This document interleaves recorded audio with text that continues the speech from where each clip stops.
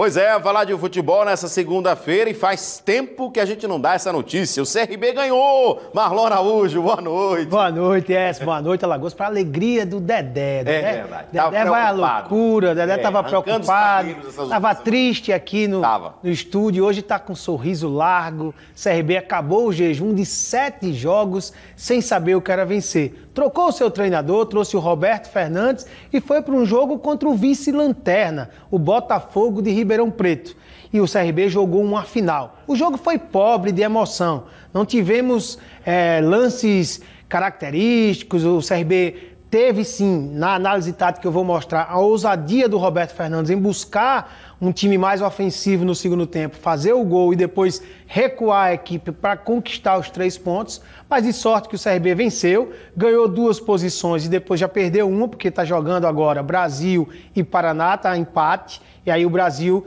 tira o CRB da, da posição 13ª colocação. Fica na 14ª, mas o CRB tem 37 pontos, tem 24 pontos a ser disputado e ele só precisa ganhar 8 pontos para confirmar a sua classificação. Um pouquinho, Está muito mais tranquilo. Agora tem uma semana de trabalho, só volta a campo no próximo sábado. Então Roberto Fernandes vai ter tempo para conhecer os atletas e colocar um CRB melhor e mais competitivo. Mas coloca na tela o gol que deu essa alegria, principalmente ao nosso Dedé aqui. Coloca na tela. Olha aí, é um gol meio que mal trabalhado, mas acabou. Chorado, mas valeu a pena. Acabou, Valeu o Pablo. Diego voltou, olha só, cruzamento. O goleiro vai sair mal, Darley sai mal. Olha que o, o Xandão vai tentar dominar, dar um passe. conseguiu. O chute é errado, a bola vai pra fora.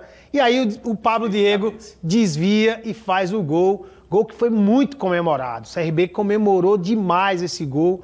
É um gol que dá um alívio, retoma a confiança e o CRB volta agora para a competição para tentar buscar aquela competição que resta para o CRB. Somar os pontos necessários para confirmar a classificação à próxima fase da competição, ano que vem, a Série B de 2021. Você fez a análise tática também Isso. desse jogo e eu, eu vi muitas pessoas comentando antes- da análise tática se tem alguma coisa a ver essa vitória com a saída do técnico, porque a gente sabe que às vezes os jogadores não dão tudo o que querem, né? Tem a ver ou foi só coincidência O mesmo? perfil do Roberto é um perfil para esse momento, é um perfil de cobrança, é um perfil de buscar um time com mais garra, mais determinação, e foi isso que a gente viu no jogo.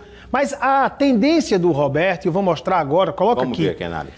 O que é que o Roberto fez? O CRB, ele, a principal substituição do segundo tempo foi quatro homens na frente. Uhum. Ele fez o Luigi do lado esquerdo, o Lucão, o Pablo Diego, que fez o gol, E o e o Robinho. E dois só no meio. Ele recuou o Diego Torres ao lado do Jatobá, então fez praticamente um 4-2-4. Essa ousadia deixa o CRB mais exposto aqui no coração do jogo, no meio-campo.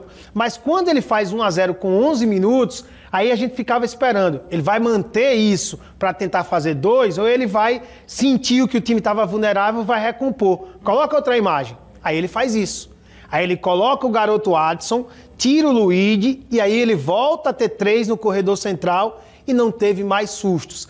Jogando no contra-ataque, poderia até ter aproveitado melhor para fazer o segundo, mas não teve mais susto. O CRB conseguiu, assim, levar o resultado depois de nove minutos de acréscimo, dando ainda mais dramaticidade. O árbitro deu nove minutos. E teve tudo isso Não mesmo? tinha para tudo isso. Depois que ele deu sete, aí sim teve. Aham. Aí ele aumentou para nove. Mas era jogo para quatro ou cinco minutos devido a dez substituições. Hum. Mas o CRB teve essa leitura do Roberto Fernandes.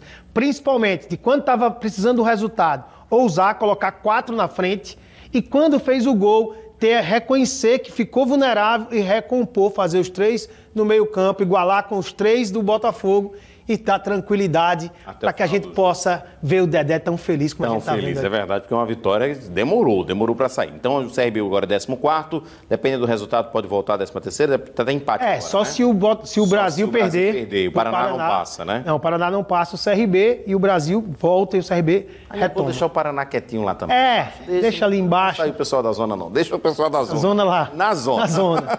Então é Agendinha isso. da semana, A Marrom. agendinha da semana tem o CSA, que joga amanhã. É, a gente acabou nem falando. Você É, jogou sábado, jogou sexta. sexta-feira. A gente você comentou aqui no primeiro tempo. Isso. Tava 1x0, terminou 2x0. Terminou 1 a 0 Terminou 1x0. 1x0.